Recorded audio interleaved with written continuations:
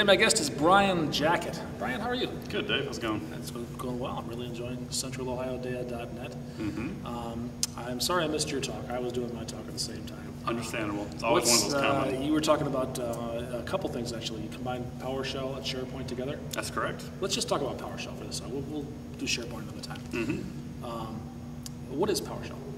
So PowerShell is a command line product um, from Microsoft. Uh, it's basically like replacing your command line, um, but allows you to do things with uh, .NET objects, be able to script things, um, get a lot of your job done quicker, and more efficiently. Uh, what do people use that for? Uh, I use it personally for SharePoint, for Active Directory. Um, you can even use it for SQL Server, uh, for Exchange, a lot of other server-grade products. So you're talking about uh, basically building scripts to automate some administrative tasks. Mm-hmm. Uh, give me an example of uh, a task that you've used in the real world to automate using PowerShell. So as a developer, a lot of times, you know, we're tearing down and recreating environments for ourselves. Um, so like in SharePoint, I'll go ahead and delete out my entire site collection, recreate it, um, populate users in there, put in permissions, things that by hand would take, you know, 10 minutes up to an hour. But instead, I can just run one script and be done with it in about two minutes.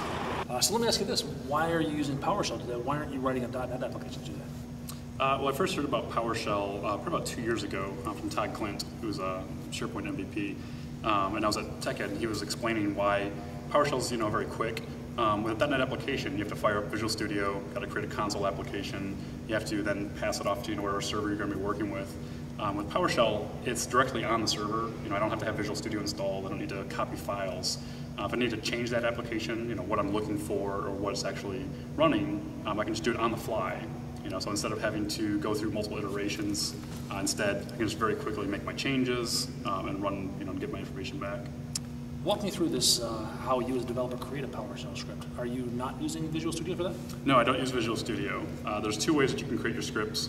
Um, first is the PowerShell console, um, very similar like your command line. And then there's also the PowerShell ISE, which is the integrated scripting environment. Um, very similar to uh, Visual Studio. Uh, you can see your console output, you can see your scripts, and you can see your command line all at once. Uh, and these are are installed with Visual Studio or downloadable from somewhere? Uh, completely separate, actually. Okay, where do you get those from? Um, so for PowerShell version 2, um, you're going to look for what's called the Windows Management Framework. Uh, and this includes PowerShell, um, the ISE, as well as uh, Windows Remote Management. This is something you download from Microsoft. Correct. Okay, so you do a Bingle search search on that and yeah. uh, get with that and find it there. Okay. Right. All right, so these are IDE environments. Uh, you choose one, and it's sort of it's sort of like uh, any other IDE file, new project. Right. Start uh, scripting away. Um, with the ISE, you even get debugging, um, so you can actually go through and see, you know, as you're executing your commands, what's actually happening, investigate things. Okay. Um, is it uh, is it .NET code that you're writing, or is it a special scripting language of its own? So natively, it's going to be in PowerShell commandlets, um, but because it's a .NET um, object-oriented command line, um, you can interact with any kind of .NET objects, whether that's SMTP, whether that's uh, your SharePoint, um, SQL Server, anything in the .NET libraries at all. Oh, okay. As, as long as you get your references to them, just like Visual Studio, you can interact with those .NET objects. And you use the word commandlet. What is a commandlet? Commandlet, uh, you can think of this as um, when you're on your command line, you know, for DOS, um, when you type in like dir, you know, your simple commands that you run natively on the DOS shell, um, these are the exact same kind of things for PowerShell. So they usually go with a verb hyphen noun, um, so things like get child item, set location, um, just very basic uh, structures and commands that you run. Okay. Um, and this differs uh, not only the. Uh, th- this sounds like when you're running it, it sounds like you're just executing uh, commands like batch file commands, which I've done in the past. Mhm. Um, but it's it's not. It's there's there's a lot of differences between that and batch file. Not only in, in the language that you can use to write it, but also in what they return, right? Right. So with batch commands, you're getting back straight text. So you have to know that when you're looking at the output on column 40, it's going to be a directory, and column 42 means that it's read or write.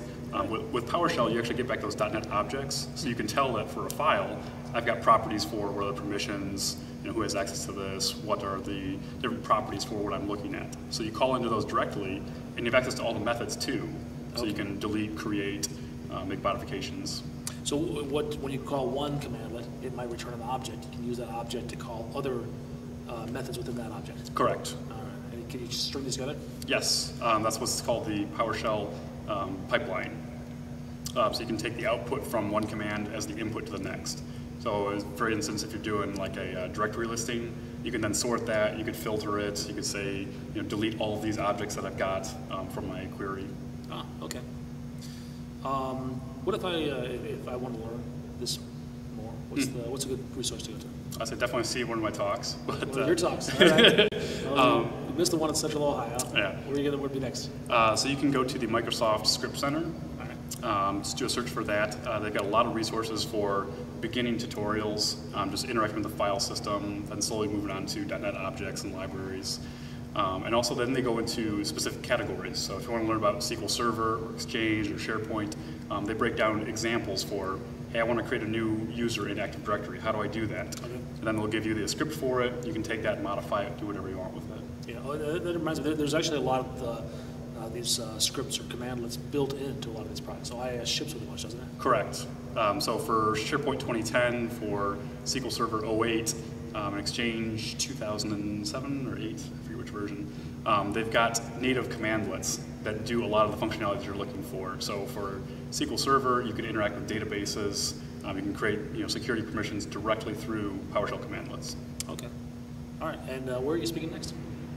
Uh, next, possibly at SharePoint Saturday New York, um, but for sure uh, SPTechCon in Boston. Awesome. You have an online presence too, don't you? I do. uh, Brian T. Jackett, J A C K E T T. Um, Twitter handle. It's also my domain for my blog. Uh, you can find me a lot of places. Awesome. Brian, thanks a lot. I really appreciate it. Thank you very much, Dave. Enjoy the conference. Thanks.